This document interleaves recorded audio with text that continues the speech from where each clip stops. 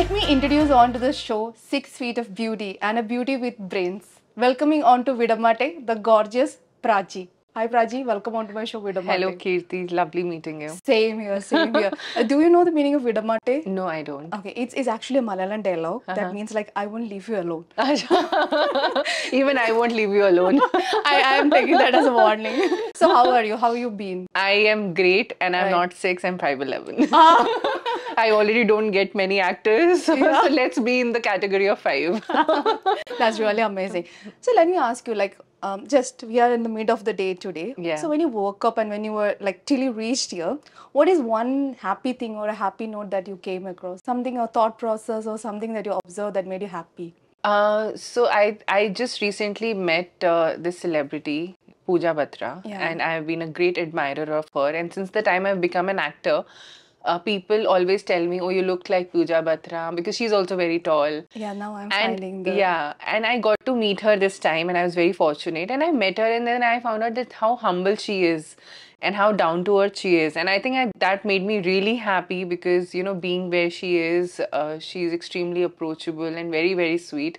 So i think that attitude really inspires me that no matter how far you go it is very good and an appreciated quality in a person that you're down to earth and very sweet to everybody around you I can totally understand. I think you are one among that category of a person. right? yes, but, Staying but grounded. yes, but these people also inspire me a lot. That's really amazing. And I think like uh, you had one of the most amazing uh, event that has happened, the fashion event. Oh. I loved it. I can't tell you how happy I am because it's been a while. Uh, you know, I was uh, because of a medical condition, I was on on bed rest, and then I resumed work with this show and with this event and with this trip, and I'm super excited. And uh, it was an amazing show. I worked for this Turkish designer, and you know, I saw the red dress. You you just look like a doll in that. I Thank mean, it you was so much. really Thank amazing. you so much. Everybody loved it, and I'm so happy to receive all those compliments. And especially, you know, after I've come just come out of a physical condition.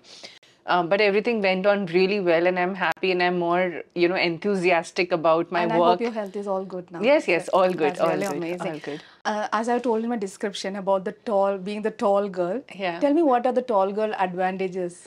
Oh, there have been so many. Like I, you know, I started to play basketball. I became the captain of the national team because of my height, and you know, because of the sport, because of my height, I actually got into basketball. And then I played netball, and then you know, uh, there is nothing extraordinary that you have to do in terms of dressing up, in terms of styling. You are anyway recognized and seen in in public because you're so tall. And I've always been very proud of my height. You know, I never ever in my life have felt that why am I tall? You know, Yeah. it, it has never been like that. And um, um, so, yeah, I mean, it's just something that you're gifted with. I can't do anything about it, but then I'm really proud of it. And you're confident about that. very that comes- confident, very confident. I was stalking your Instagram and I could find two things in that which I found very interesting. And one is that you are you love wildlife photography. Oh, yes. How did that interest initiate? How did that come over? So that happened during lockdown. So uh, during lockdown, I spent a lot of time in jungle, and um, I was in the forest. So I was close, very close to the nature, spiritually, physically, mentally, and that is uh, when I realized that how um, you know, uh, you know, it gives you that peace uh, and it it uh, you know being away from the regular life it gives you a connect with your deep within. You know it's something very deep to be honest but uh, but i i wanted to do it more often. And i wanted to bring substance to it. So i thought that why not you know do something substantial with exploring nature. So i think capturing animals uh, uh, jungle wildlife that is how everything began Oh, But what is the best experience that you had while shooting? Like one particular particular thing that you can remember? Uh, oh, I, uh, you know, I went to Ranthambore and uh, uh, it was a great trip. I went for many safaris and there was, uh, we were obviously looking for, everybody's searching for tigers there.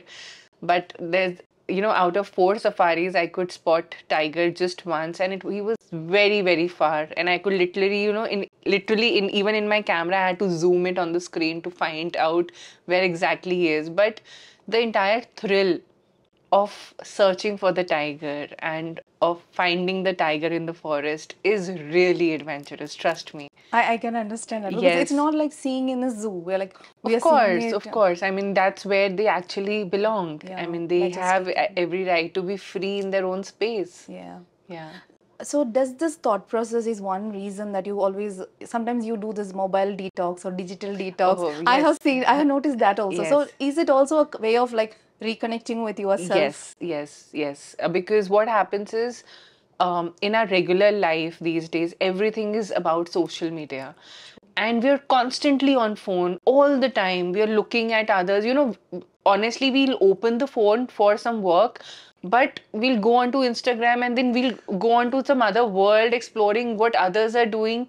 You know, I think the times earlier were much better when there was less of technology so i it's just a way of me reconnecting with my inner self of things i want to do and spending that quality time in things what, what i enjoy doing Yeah. you know that's how we're going to reconnect with our own self and uh, hence the initiative and i keep doing it i mean I, I on and off Talking about this, I found last day a very interesting quote that says 90s, more memories, less evidence. Because now, uh, when we are like, we take a lot of pictures, we save a lot of things, Yes. but we don't remember anything. They're like the things that get So being true. saved in our mind is less. In the mobile, yeah, I have 64,000 photos in my mobile. wow wow so But you can imagine and you you know you don't even want to delete them If we don't, it's, Ah. it's, it's, it's, it's another headache for us. And I'm like, which should I delete now? Or I don't have even the time to go past. correct But uh, if you ask about you, about your childhood, if I ask you, you have a memory, a very clear memory of yes it, right? yes I think that's that's what is about reconnecting with ourselves. right right And talking about substantiality, you have. I, I mean, I heard your TEDx talk. It's really amazing. I'm coming to that. But talking about substantiality, you have said that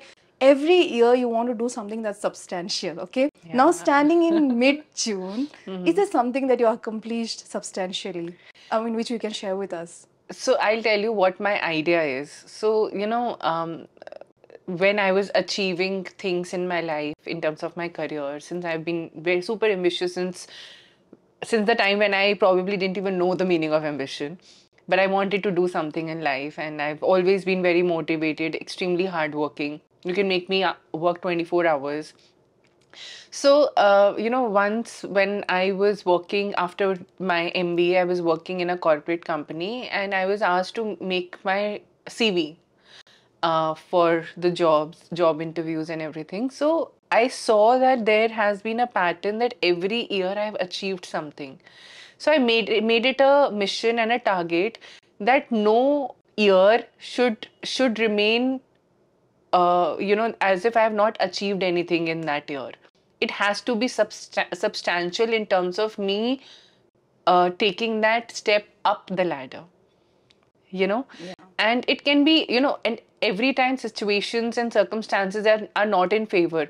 But trust me, if you are at it, it might not be something monetarily, but there there are so many other things which we can you you can do to basically upscale yourself Spiritual thought process. spiritual thought process, uh, learning a new skill, uh, learning a new hobby, developing a new passion, uh, or uh, reading, and you know, it can be anything that you enjoy. And trust me, it just you know adds on to your persona. It just adds on to your humbleness in life towards life and towards people. It adds on to the gratitude you have for everybody around you. It it basically enhances you it makes you a beautiful person from within you know and that is i mean i'm sure you you are interviewing so many people when you interact with them that depth comes from inside Yeah. yeah so That's i where think we connect. It's not Yes. the fact where I ask you how many films you did or what you did. No, Yeah, it's this thought process that connects yes yes as a, as people, like as human beings, correct that connects and us. that is that is so important because um you know we don't know if we're going to see tomorrow or not. It is so unpredictable. We don't know how short or big our life is. It's just that uh, you know every moment we're um, intentionally doing something uh, to make somebody smile, not to hurt hurt somebody, not to say something to anybody which scars them for life. So these are the you know few things which you obviously everybody has done it even i have done it in life. But then you know there are situations experiences which helps you realize that how bad it is it had been for you and how bad it can be for others as well. You know so we need to be a little sensitive towards how we deal with people around us. And there are so many things which which basically you know adds on to to your learning and knowledge about life. and which builds our personality in that so way. true so true. And you have called yourself a destiny's child. Like, Yeah. come what may, I am ready to take it. Be- um, Destiny's child because I whatever I'm doing in life is something that I've never planned. Yes. But is there some portion of your life that you actually plan and do? Like, is there any segment that you actually plan? Okay, I want to do this like that. Uh, so once I'm into it, obviously there's planning. But then uh, Destiny's Child, I'll tell you why. Because as a, as a kid, I was always a good artist. So everybody in my family used to say, "Oh, Prachi is going to be an artist. She's going to be a painter." Because all the time as a kid, I was just painting, writing, and you know, I was just into myself. My mother would just leave me with uh, my colors, my paints, and sheets, and I would be busy the entire day without disturbing anyone. So that's what they thought. But just because I was tall, I was put into basketball, and then basketball became my passion because we used to get a lot of time to bunk our classes. Yeah, yeah. So mostly we used to be on the court and it used to be official bunking. And uh, then it became passion, and then I started playing for my state, and then uh, I started to attend the national camps, uh, being one of the youngest players. And i i was in under 19 when I was just 14 years old. So I got a lot of good exposure in that way uh, in in sports, and then you know. Um, sports may when I didn't see a career happening, I focused on my education. Education, so obviously you go into corporate after MBA. I was doing that, and then all of a sudden this acting opportunity came, and, and then I became an actor. So sometimes, so it was an opportunity, and I took that plunge, and I took that risk with that one step to just try something new in life. And I think that is something that changes you.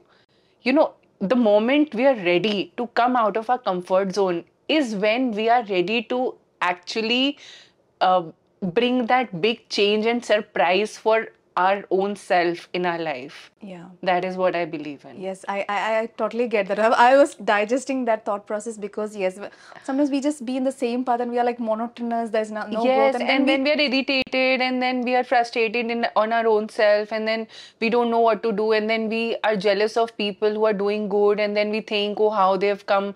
So it's just we are we should not focus on others, Kirti. I think what is important is once you get an opportunity, just give it a try. You might just fail or end up learning but at least something. we tried. Correct. You tried. yeah. And you never know how it's going to be for you. Like, for example, when I got an offer for acting, I didn't know anything about acting. Like, I didn't even, literally didn't even know who the producer is. Yeah. I was that layman to the film industry because I'm not coming from a film background. But uh, when acting happened, those seven months of my life were the most beautiful time because I was mature enough to, you know, understand. I have always been a quick learner.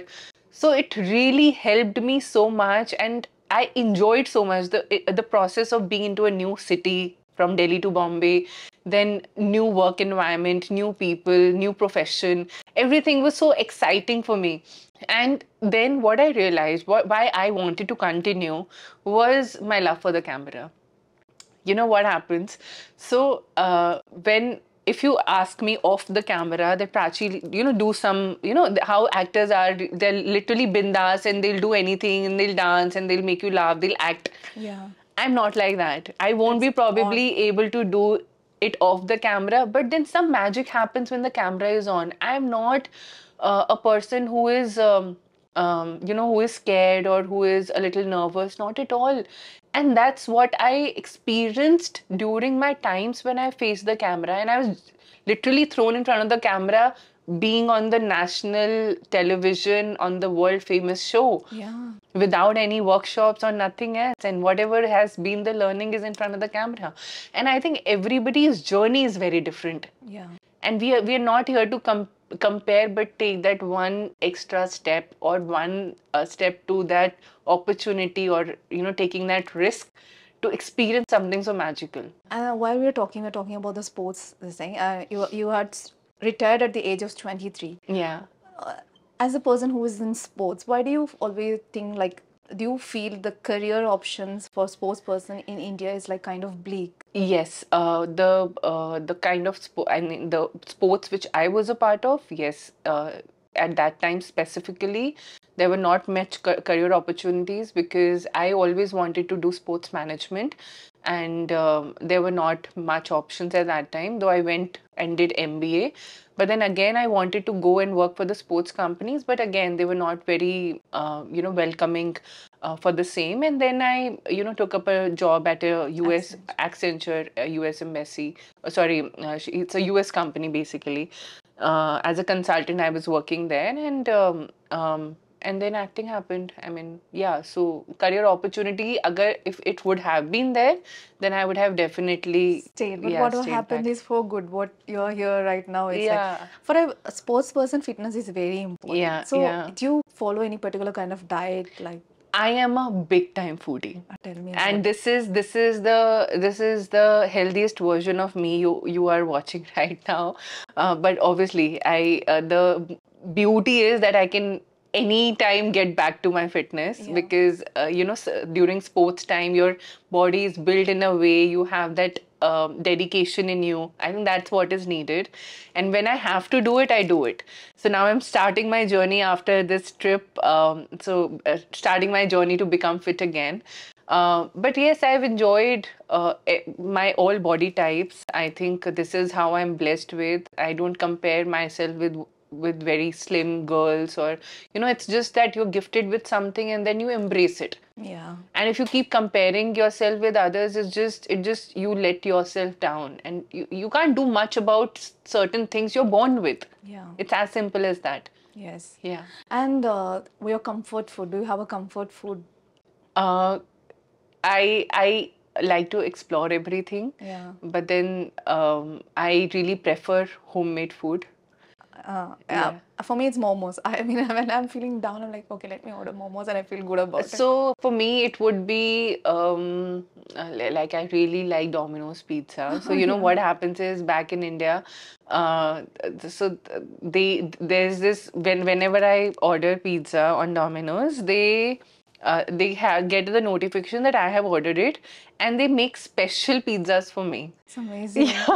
and they're so delicious. You, it's it's unreal. So I've never had such amazing pizzas. What Domino's, uh, you know, surprises me with. So I'm, I, Yeah. yeah, that's that's something I and really What enjoy. Malayali food you like? Malu food. Oh, I love so much in uh, this thing. I love. I literally. I yesterday only I had uh, uh, this uh, mango fish curry Ah, yeah. uh, and uh, with appam. And then I really like kuttu parotha with Yeah. uh, the curries and The everything. and, uh, yeah. And uh, I even like biryani, that small rice. What is Yes, it uh, called? Jeera Gashala. Jeera kashala. Now yeah. we are making and I even like a typical Kerala rice, the thick the, the matta rice, no, which yeah. is very rare for people yeah. because they say it's very hard to eat. Like, Huh. yeah, but you like that also. I, I love that and I love uh, you know putting on in those gravies and then the papadam on it crushed and having it with hands with achar and everything. So I'm a foodie. So I, I, I can understand when you are saying you made me hungry. So I can. And we were we started with your profile, me stalking your profile and finding out two things. Also, we discussed one thing about the photography, which is really amazing.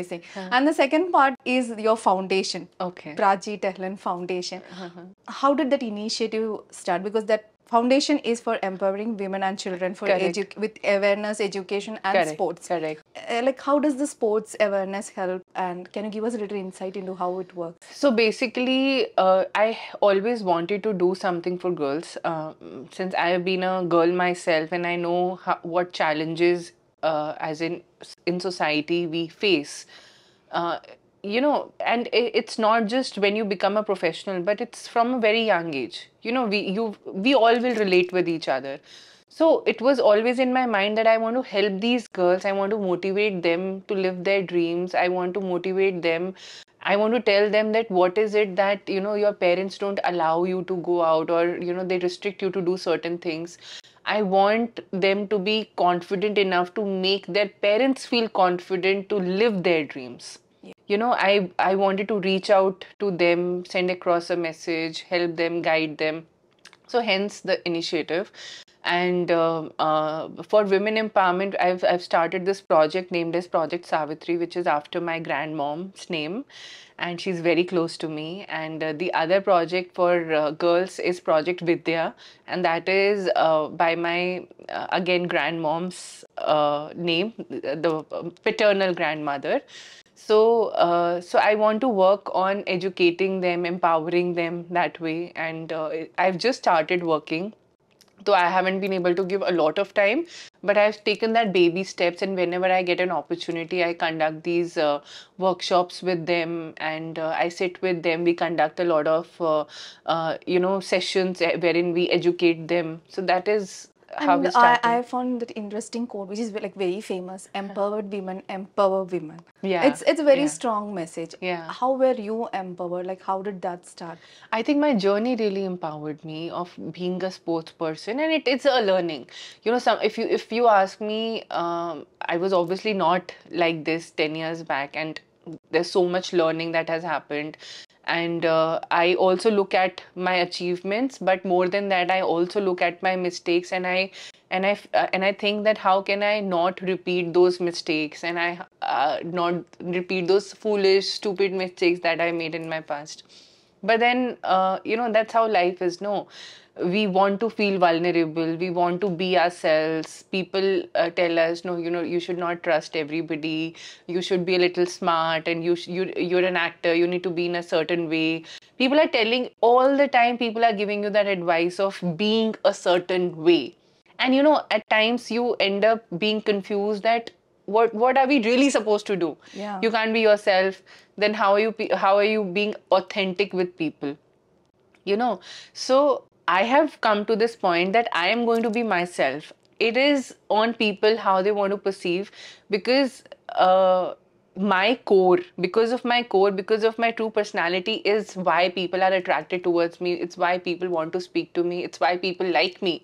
It's why people uh, you know want to meet and speak to me and share their thoughts with me or they feel a connection with me. So that authenticity is extremely important for me. And the perspective of empowerment it changes from person to person. Like my definition of perspective or my perspective of empowerment wouldn't be yours. Yeah. what according to you is actually empowerment?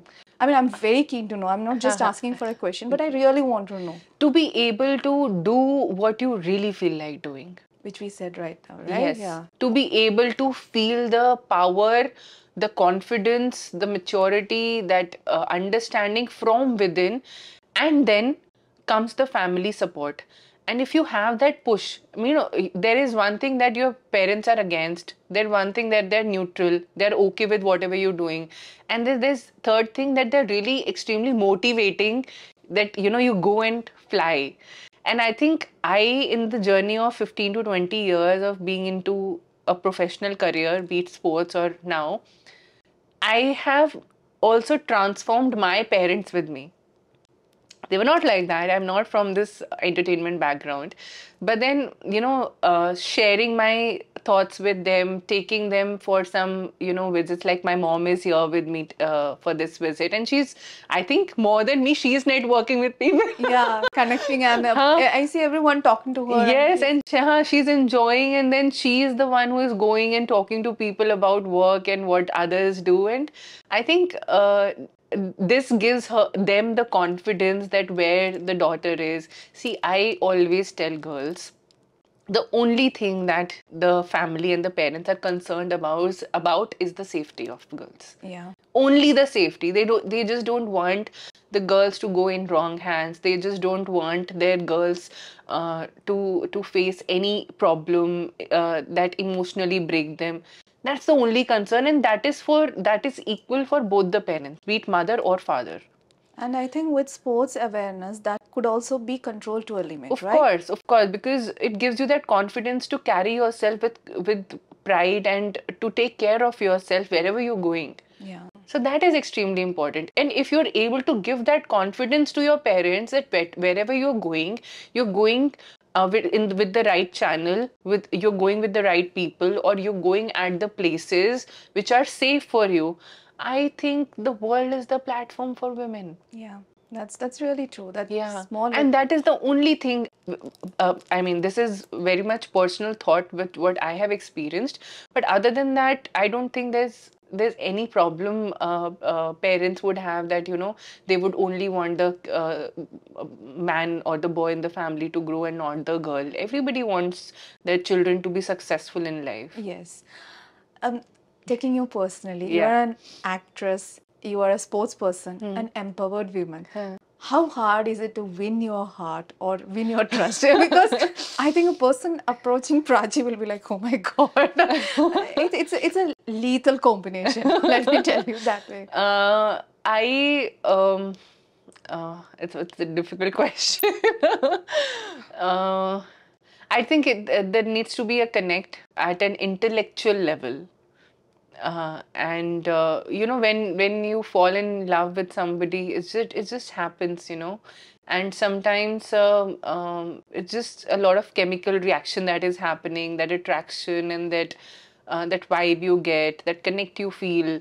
There are a lot of things but right now the focus is only On the, on the career. profession On the Yes. career. yes yes Let me bring the most exciting part of your career, which I had kept for the Okay, last okay. Mamangam. Ah, How did I not talk about it? Yeah. uh, so, t- did you really dub for that? Like, uh, that was my first thought process. Like, did you dub in Malayalam? no i didn't You I, you had a, uh person who dubbed for you. yes somebody else dubbed for me but lip sync obviously i learned my dialogues Yeah. uh, and that is why nobody could tell that you know it's dubbed because the lip sync was uh, almost perfect. So and even I, re- I remember our director Papitan coming and telling me oh Mammukka was dubbing and then he said this girl has done a good job and I was and I was very excited because getting a compliment from Mammukka it's always uh, you know motivating Since motivating talked about Mammukka, Yeah. with the number of interviews I conducted, I could create a book on the testimonials on Mammukka's, uh, not him as an actor, but him as a human being. Yeah, oh, so, a- what was your experience? He's a lovable human being. I loved every moment of being with him on the set. I loved every moment of having a conversation with Mammukka. And uh, uh, the best part about him is he's approachable. You message him, you ask him, Mammukka, how are you doing? He'll always respond. He'll always respond to the occasions for festivals and, you know, um, and um, and he's just there and he he has this aura around himself. Oh, I'm a big Mammukka fan, so I'm going to be in awe of him while talking about I him. can totally understand. no, oh, whoever has met him has this much of things to say. That's the reason Yeah. I said I could make a memoir of Yeah. how many testimonials He's so there. adorable. He's so nice. He's such a gentleman, and uh, uh, and he's so great looking. Oh God, I'm in love with him, and I still remember that time I, we were promoting Mamangam in Dubai at Sharjah, and um, I was so overwhelmed with everything that I started crying. So I was overwhelmed because you know I was a part of the project since 2018 start uh, January Yes, yes. And the project released in December 2019. Yeah. So, two years of me being associated with one project was a very long time. And uh, me being an emotional person, I was just looking at that entire journey. And then I was so overwhelmed, overwhelmed that I started crying, and I just couldn't stop, Kirti. I was, I was taking deep breaths because I, I had to go to the stage, but I just couldn't stop. And I went to the stage crying only, and then I was crying, and I then, then I gave my speech, and and then I said uh, that you know what, something that I really want to be in my life is I, I want to be Mammukka. I So, can totally understand when you're saying I can get that feeling. Yeah, yeah. And for that movie, you had gained around, like as Wikipedia says, like eight kgs or maybe more. How did you lose it? My my thought process is like, how did you lose those weight? Again, dieting. I think dieting is something that works for me 80%. yeah. because you know uh, any kind of grain or uh, you know refined sugars it doesn't really work go along with me uh, so i really have to cut on my food for that and obviously workouts are there to make you look more uh, i still remember i was shooting for mamangam and uh, this uh, uh, AD went in, came into my vanity and he's he was like Prachi your abs are being seen on the on this thing You need to get fat. you need to you need to gain weight. I was like, okay, no problem. Just give me two days. Not an issue. the reducing takes two It's- it's months. too much time, yeah. yeah yeah and gaining just took uh, you know uh, full uh, plates full of uh, kerala rice and some curries and then i was at Magic it is done. You had to describe yourself with something that is materialistic. Uh, what would you describe as? something that is materialistic Yeah, for you, like personally, if your personality, if you had to describe in something materialistic that you use or uh, you have something like for me, it's like I didn't wear my watch today, but it's usually my watch. acha okay Yeah. so you acha describing as in something that is very close to you and which you keep with yourself Yeah. okay um for me that would be but i think my diary Yeah. Yeah, I so I really like to be very organized. Journaling, So journal. I I write journals and also I'm very and paper pen. I really love. I like I love reading. I saw that with that question you uh, you asked. But then yes, paper and pen, and then having my diary always with me is something I really love. So, uh, what are your upcoming projects? So uh, there are a lot of to- uh, you know talks that, that are happening for Malayalam, Tamil, Telugu, and I am hoping that very soon uh, I'm, I'll be a part of very good projects. And uh, as I said, that this is a start uh, from Dubai, and I'm so happy that you know I got to walk the ramp, and uh, next day I also got an award for uh, excellency. And it's always encouraging, and I'm looking forward to do a lot of films. We also look forward to see you. May I ask, like, Yes. when we check the filmography, it's it's few movies. Have you consciously taken that break, or is it because there have been that roles that you didn't, you couldn't do, or you didn't want to do? In put it in Yes, I've way? I've been very choosy in terms of the work I want to do. Like I I've uh, been very clear that I want to do cinema that I can sit with my family and watch. So that you know uh, makes the uh, uh, projects very few. That is one of the reasons. And uh, I've done uh, obviously uh, this uh, music videos and two shows for Star Plus, and then there are a lot of events and there's so so much other than that photography and uh, this foundation. This I keep handful on doing of things that you're yeah, busy with. That I'm busy but busy I have a wish for you that I really hope that you come in the Malayalam with a sports movie. Very because lovely. we really want one. Once we I had 1983 and all for that matter, but we want something more. which is which is Kerala. I would love to do it. I love, you know. Uh, I, yesterday also, I I met this producer and I was telling him, sir, that I my love for Kerala is something else because I made my debut down south opposite uh, Mammootty sir through a Malayalam film. Yeah. And I've spent so much of time in Kerala and I love Kerala. So I want to do more of Malayalam films. It's just that maybe, you know, uh, with Mamangam being such a big film, uh, people tell me that, you know, oh, she must be unapproachable. You know? I have heard this before also. Uh-huh. Like I- on my show, artists telling this. Like Yes. this unapproachable thought process is there. Yes, and then they might they think that you know she might be very expensive. And uh, uh, yesterday only I got to know that people have been quoting some price that this is how much she's charging, but it is actually not like that.